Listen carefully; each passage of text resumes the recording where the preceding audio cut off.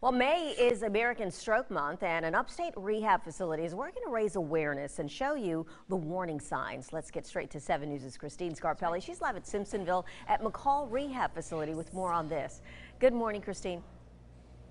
I'll tell you, a bunch of experts here, and thank goodness for sure. We are learning the signs of stroke now. We talked about prevention tips where we had chips and donuts. All of those were not eaten, we should say. But listen, knowing the signs of a stroke, recognizing those in somebody else, we are in a position where maybe we're starting to come back into contact with each other, but we're on Zoom. We've got Megan Ramsey here, American Heart, American Stroke Association, telling us what we need to know. Especially this month, it's important to know these. That's right. So stroke is the leading cause of disability. So really being able to recognize the signs and symptoms is important in not only your recovery but getting to the hospital as quick as possible. Okay. So we're going to quickly walk through these. And FAST, F-A-S-T, is a good way to remember. So first, F, facial drooping. So we have a mirror here as a reminder. So, okay. you know, either... You, would I feel this? You might feel You could feel little, it. You okay. could feel some drooping. Um, but so really, look. yeah, if, if, things feel a little off, you know, take a look in the mirror. Um, this is an example of what the facial drooping might look like. So Paralysis, little, perhaps. Okay. Yes. Okay. Um, so the facial drooping is the F. And you might see this on Zoom. That's Something right. on a Zoom meeting That's and right. you're seeing these That's symptoms. Right. Okay, recognize yeah. this, guys. What's so next? So A is arm weakness. So I want you to pick up this weight. Okay. Imagine doing like a hundred of curls,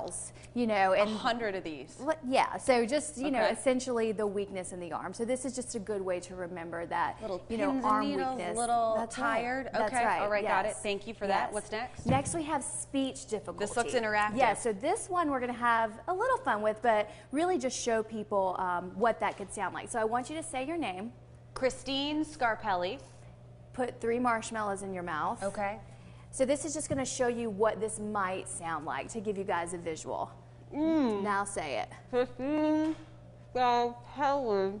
There you go. So that could be an example of what that can sound like. Mm. And lastly, the T, time is crucial to recovery. So T is for time to call 911. So anytime you see one of these symptoms, all of these symptoms, the best thing to do is to, you know, call 911, get that emergency care so you can get to the hospital quick. I'll say if you hear somebody talking like that, even just slower or that elongated speech, that is fantastic to know. Is the hospital, is the emergency room, are they going to be frustrated with you calling and not needing them, or maybe they can walk you through? Absolutely not. So we always say it's better to be safe than sorry. So, oh, yeah. you know, again, any of these symptoms, it's so important. Time is crucial to stroke recovery.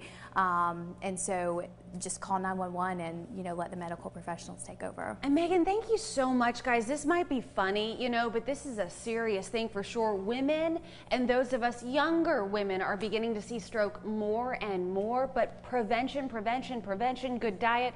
Hey, we're going to talk blood pressure too next. I'm going to have mine taken.